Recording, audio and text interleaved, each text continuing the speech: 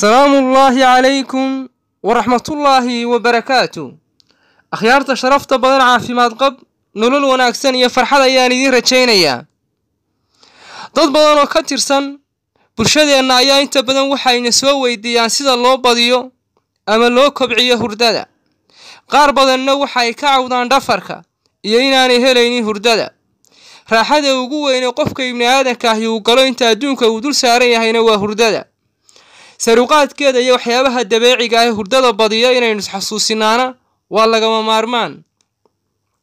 Haddaba dadkaasi inta badan waxay naga rajeeyaan inaynu u qorno ama aynu kula talino faytaminaadka ama main vitamin sourceska laga helo ee qofka ku badiya faytamiinada inta badan hurdada kobciya inaynu u qorno ayay dadkaasi naga rajeeyaan.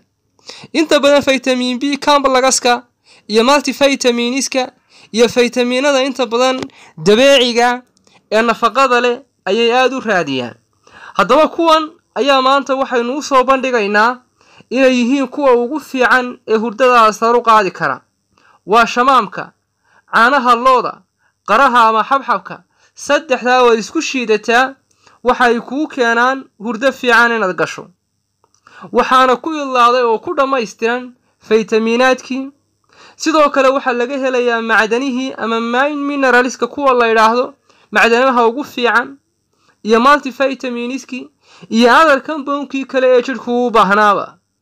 Haddaba kuwan aynu muuqaalka insha allah ku soo bandhigayno ayaa waxaynu kula talinaynaa bulshada inay sida ugu fiican ay uga faa'iidaystaan iyagoo dariiqadan iyo wasiiladan raacaya. Shamaamka waxa uu ka mid yahay qudaarta ugu fiican ee laga helo faytamiin b-ga waxaanu ka qayb qaataa qofka inuu badiyo oo hurdadiisa uu sar u qaado. Marka uu cabbana qofku waxa uu isla markaaba dareemaa inay hurda ay ku soo dhacayso. Sidoo kale waxa uu ka qayb qaataa qofku haddii uu isku buuqsan yahay ama uu warwarsan yahay ama tenshan uu ku furan yahay ama dibression uu dareemayo ama istras iyo waxyaaba noocaasa uu la nool yahay inuu isku dejiyo oo qudaartani waxay ka qayb qaadataa qofku xilliga markaa uu hurdoodo ama maskaxdiisu marka ay cunto badan oo nutrative ah ama aada u nafaqaysan ay gasho in qofka dareen wadayaashiisii ay degaan in qofka markaas uu dhammaan temberaturekiisii uu dego. Haddaba shamaamku waxa uu ka qayb qaataa hurdadu inay kuu badato laakiin waxa uu keligii oo aad shiidato waxaa ka sii fiican marka caanaha looda ee free from salmonella ama bakteriyada salmonellaha laga ilaaliyey ama aanay ku jirin inaad ku shiidato waxaad isticmaalaysaa inaad caanaha looda marka koowaad iska karkariso si ay sayf u noqdaan. Kadibna waxaad ku shiidanaysaa oo aad markaas aad ku qasanaysaa shamaamka cabitaan joogtaa baad ka dhiganaysaa. Isbeddelkana markaas ayaad tijaabin doontaa sida aad markaa isku beddeshay iyo sida aad noqotay iyo waxa aad dareemayso.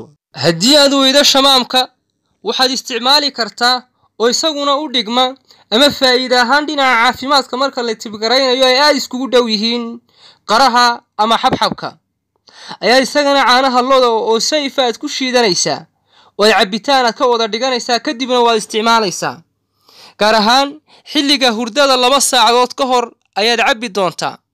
Kuwaasi waa kuwa ugu fiican ee hurdada kuu badiya hurdo caafimaad qabta oo aan dawooyin aad la qabatimayso ama kaa daba imanaya ama ha dhowta side effect kugu reebay aan ahayn.